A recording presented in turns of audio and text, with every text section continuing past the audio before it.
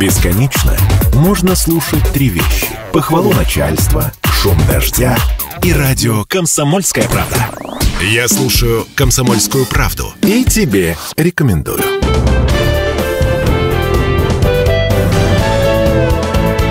Гость в студии.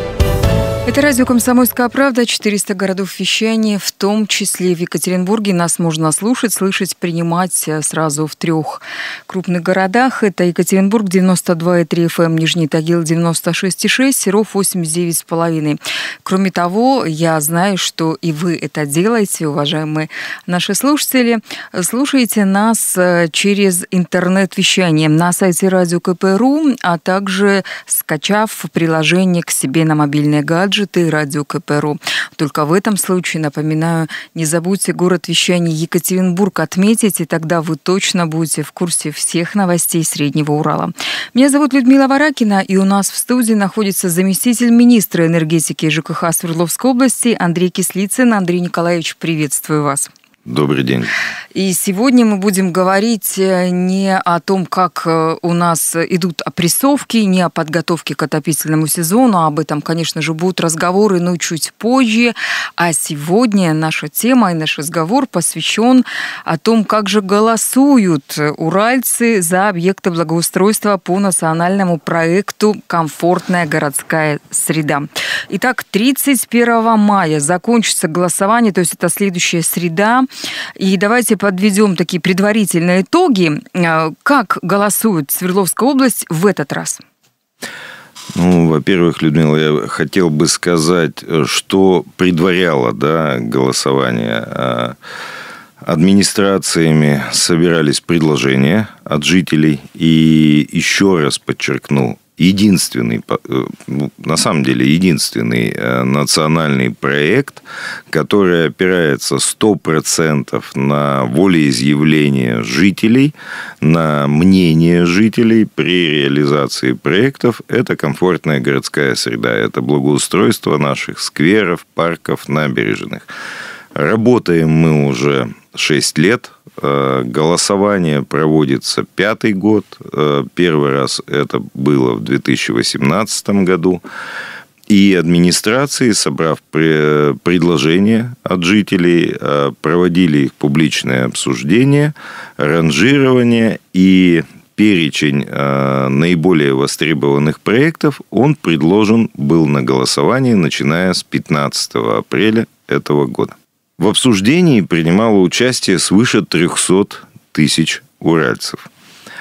В голосовании э, на сегодняшний момент приняли уже участие э, свыше 737 тысяч.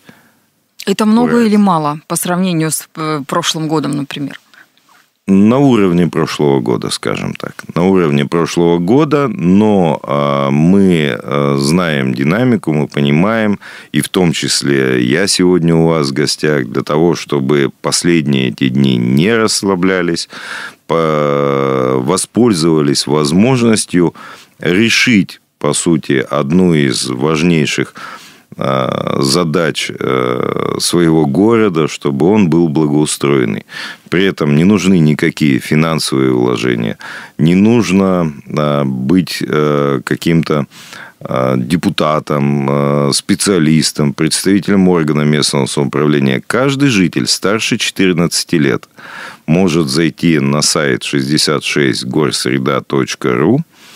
Если это Э, ребенок, да, подросток, э, он пользуется авторизацией через сотовый телефон, взрослые авторизуются для верификации голосов, чтобы не было накруток и так далее. Взрослые авторизуются через госуслуги. У нас практически все жители имеют аккаунт на госуслугах. И э, самое главное, есть возможность познакомиться со всеми материалами то есть краткие аннотации из проектов, предлагаемых голосованию, все размещены на страничке города, а, в котором зарегистрирован а, данный житель. Да?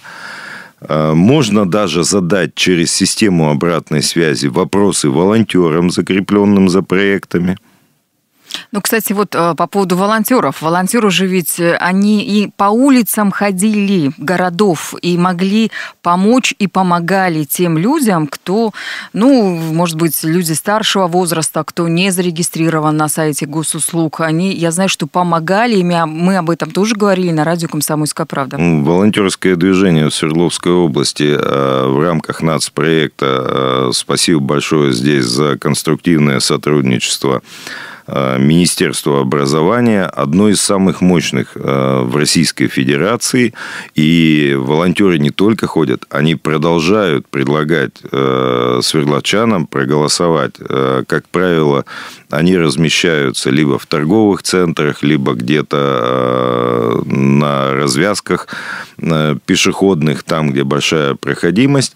И если нет желания самому копаться, хочется задать еще какие-то вопросы, вы встречаете волонтера, они в брендированных э, накидках, э, Ребят молодые, как правило, коммуникабельные, они всегда помогут, ответят на вопросы, помогут зайти на 66горсреда.ру и выбрать тот проект, который понравился.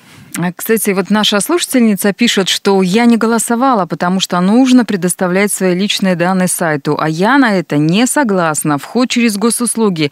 Может быть, это основная причина, почему уральцы не хотят голосовать? Как вы считаете? Недоверие, что обманут, заберут я, их э, я, данные. Я, Людмила, как человек, имеющий э, собственный э, аккаунт на сайте госуслуг. Я понимаю, что авторизация э, на сайте 66 Горсреда проходит э, применительно к аккаунту госуслуги. И 66 э, Горсреда не получает доступа к полной личной информации. Поэтому это лишь средство верификации. Если вы не уверены в сохранности своих данных на сайте госуслуги, но я могу только посочувствовать.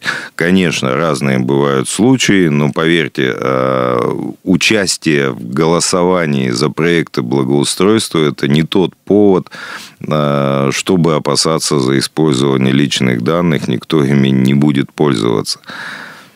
А вот объясните еще такой момент. Могут ли а, маленькие населенные пункты претендовать на то, что у них тоже будет благоустроен какой-то сквер, парк, набережная? Ну вот э, условная Шаля, например, да, там живет 6 тысяч э, человек. Районный центр, поселок Сагра в 15 километров от Шали, там уже 1100 человек. И э, он выдвинут для голосования, там есть объект. Вопрос, вот когда в Сагре что-то благоустроят, будет или будут э, в приоритете только районные центры для благоустройства? Обязательный характер голосования носит для 47 городов Свердловской области. Но но э, уникальный опыт Свердловской области состоит в том, что уже второй год мы реализуем э, по решению губернатора области Евгения Владимировича Куйвышева, мы реализуем э, программу, связанную с благоустройством поселков городского типа и сельских населенных пунктов только за счет областного бюджета, без федеральной составляющей. И в ходе отбора территорий для э, финансирования проектов в данных населенных пунктах мы также учитываем проводилось ли рейтинговое голосование, участвовали ли жители э, и отдавали ли свои голоса. Потому что есть ну, действительно ярчайшие примеры, когда не учитывать мнение свердловчан в конкретном населенном пункте ну, просто нельзя. Потому что настолько активность серьезная, и мы понимаем, что эти проекты действительно востребованы. Это какие примеры? Ну, если на сегодняшний день говорить, э, в принципе, э, ориентиром для нас являлось это э, не ухудшить результат прошлого года. В прошлом году несколько более 25% жителей, имеющих возможность голосовать, это старше 14 лет свердловчане, принимали участие. Но вот в этом году возьмем скажем так, лучшие результаты. Волчанск, небольшой город. Все жители все практически жители старше 14 лет на сегодняшний день еще до окончания голосования отдали свои голоса. Разве можно не учитывать такой результат? Верхняя Тура 75% жителей проголосовали. При этом и Волчанск, и Верхняя Тура, они традиционно, все 6 лет, они активнейшие участники программы. И при такой поддержке э, народа разве можно э, отказать в реализации проектов? Арамиль 75%. Город рядом с э, мегаполисом, многие работают в мегаполисе, заняты и так далее – находит администрация возможности дойти до людей, э, находят люди возможность отдать голос за свои проекты.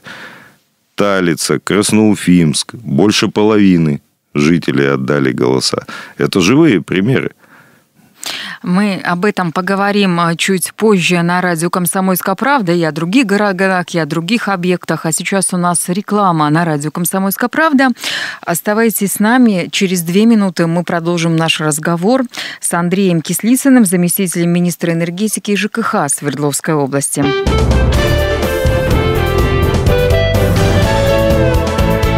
Гость в студии. Радио «Комсомольская правда». У микрофона Людмила Варакина. И мы беседуем с заместителем министра энергетики ЖКХ Свердловской области Андреем Кислицыным. Андрей Николаевич, ну вот мы начали говорить э, про города, которые активно голосуют и активно принимают участие э, в голосовании за объекты благоустройства по национальному проекту «Комфортная городская среда». В Свердловской области, безусловно, э, вы говорите, что за 6 лет было много чего сделано, интересные объекты у нас появились, и это мы тоже неоднократно обсуждали, говорили, приводили примеры.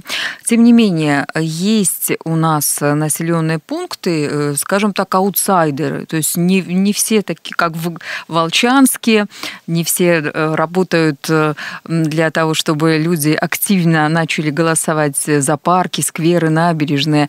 Вот мы знаем, что Екатеринбург в аутсайдерах, а кроме Екатеринбурга, какие еще территории, где где нужно поднажать и местным жителям точно прийти, проголосовать, либо зайти в телефон на сайт или еще где-то? Э, если позволите, конкретные э, проценты, ну, я бы не стал называть. Э, действительно... Ну, несколько примеров. Хуже результаты в Екатеринбурге, Алапаевске, Верхней Пышме, в поселке Арти. Это вот те муниципалитеты, которым надо, ну, действительно, вот оставшиеся несколько дней использовать продуктивно.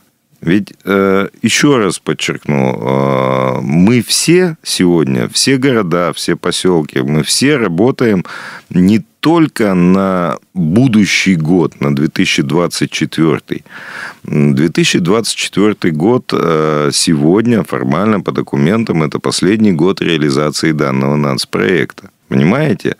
И сегодня Министерством строительства Российской Федерации, региональными э, властями ставится вопрос о возможности продления, потому что проект крайне востребован. Он действительно дает отдачу. Мы видим, как э, хорошеют э, наши города, как комфортнее, удобнее становится жителям, как молодежь, особенно в летнее время. Вы посмотрите, сколько в новых парках, скверах, на набережных, сколько молодежи, сколько общения, сколько положительных эмоций.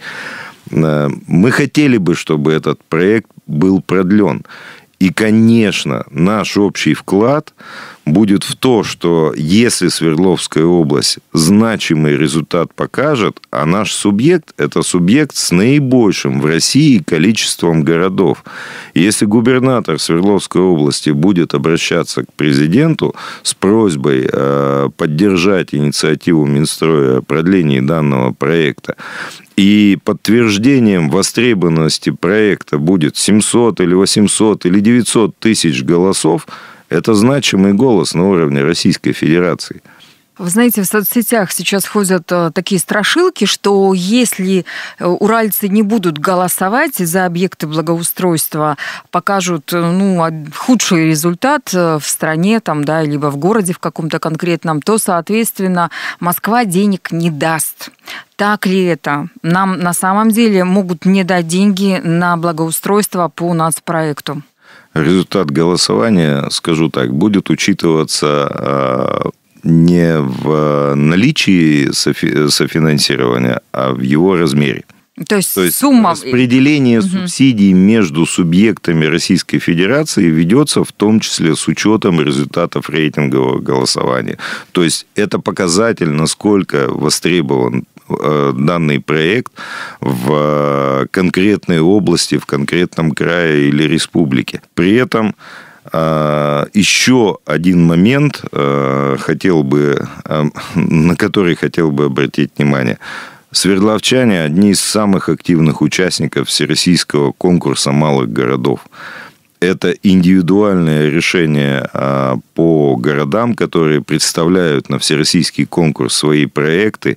И от трех до пяти до шести муниципалитетов ежегодно побеждают в этом конкурсе от Свердловской области, получают значительный объем федеральной поддержки и реализуют действительно уникальные красивые проекты. И это заслуга в том числе э, всей области, потому что мы даем хороший результат с точки зрения востребованности проекта, с точки зрения обратной связи с жителями. Подчеркиваю, но единственный э, проект, в котором мы можем принимать решения напрямую между нами э, и решением нет никаких, э, скажем так, промежуточных стадий. То есть вот мы отобрали, допустим, в городе пять проектов, и большинство жителей говорит, мы хотим, чтобы парк был сделан в таком-то месте и в таком-то виде. И администрация обязана будет это решение реализовать. Вот в Екатеринбурге есть два парка. А, парк имени Энгельса и летний парк Уралмаш, которые еще до начала объявления рейтингового голосования получили поддержку в лице частных инвесторов. И депутатов Гордумы, и общественных организаций самых разных. Э, вопрос, а для чего же тогда вот эти объекты включать в голосование, если в любом случае они будут реконструированы? Может быть, их убрать и вместо них э, другие объекты выставить? Людмила, но ну, э, любая частная инициатива, любая поддержка, честь и хвала тем э, спонсорам, попечителям, э, жертвователям в городах, да, которые берут на себя такую ответственность, но это все-таки добровольная инициатива. Разные могут быть обстоятельства, а, разные моменты могут складываться при реализации проектов. Поэтому, а, тем не менее, данные объекты, так как они были отобраны жителями при предварительном а, обсуждении, они включены в перечень объектов для голосования. Вне зависимости от того, что будет с частными э, инвестициями в данные объекты, а даже не с, инвести... не с инвестициями, да, а с пожертвованиями, направленными на благоустройство городов, мы будем, во всяком случае, вместе с муниципалитетами готовы подхватить данные объекты. Знаете, уральцы часто жалуются нам на радио, присылают э, сообщения, что когда происходит реконструкция парков, скверов, набережных, то вырубают деревья. Вот сейчас начали как раз реконструировать в Екатеринбурге парк Энгельса и э, стали убирать там деревья. Нельзя без этого вообще никак обойтись. В любом проекте вот совершенно точно могу сказать, как курирующий данный проект зам, а, в любом проекте минимизируется а, уборка уже существующих а, насаждений и деревьев. Мы прекрасно даем себе отчет, сколько лет должно пройти, чтобы крупноразмерное дерево выросло в конкретном месте. Если это происходит, то этому есть две причины. Либо реальное объективное состояние э, дерева, да, э, и обследование предварительное проводят специаль, специалисты-дендрологи, либо объективно невозможно без уборки данных деревьев разместить предусмотренный проектом объект. При этом очень часто администрации до последнего корректируют расположение Э, тех или иных элементов благоустройства, чтобы минимизировать, подчеркну, опять-таки, влияние на существующую среду. Ну вот, кстати, муниципалитеты сейчас уже приступили к благоустройству территории, э, за объявление которых жители голосовали в прошлом 22 году. Вот об этом можете очень коротко рассказать. Практически э, на всех площадках начаты строительно-монтажные работы. Мы уверены, что с планами мы справимся. Никто не говорит, что это идет просто, но все муниципальные контракты заключены, а, идет поставка материалов, идет подготовка территории.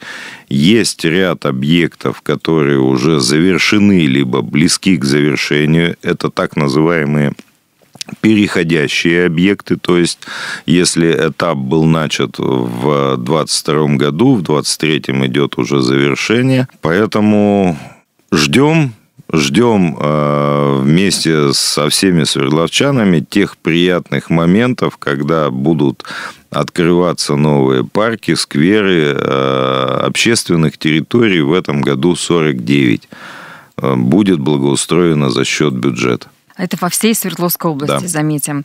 Ну и в конце нашей программы, вот осталось меньше минуты до конца эфира, давайте еще раз напомним нашим слушателям до 31 мая, как они могут проголосовать.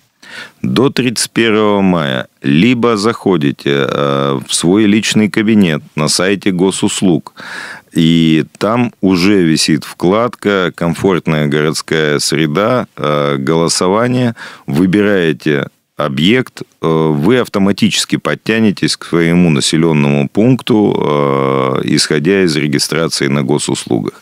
Либо э, в поисковике находите 66 горсреда.ру, вас переадресует на сайт соответствующий, вы вводите населенный пункт своей регистрации, авторизуетесь через госуслуги, смотрите проект, который, э, который, проекты, которые размещены, выбираете и голосуете.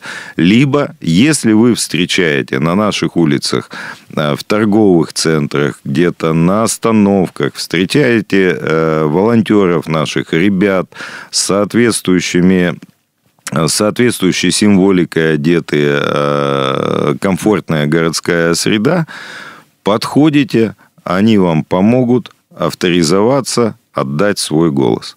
Пожалуйста, найдите буквально 5-10 минут для того, чтобы решить будущее своего города, поселка, чтобы улучшить жизнь в нем для всех. Андрей Кислицын, заместитель министра энергетики и ЖКХ Свердловской области, был на радио «Комсомольская правда». Я, Людмила Варакина, прощаюсь с вами. Всего самого доброго. До свидания.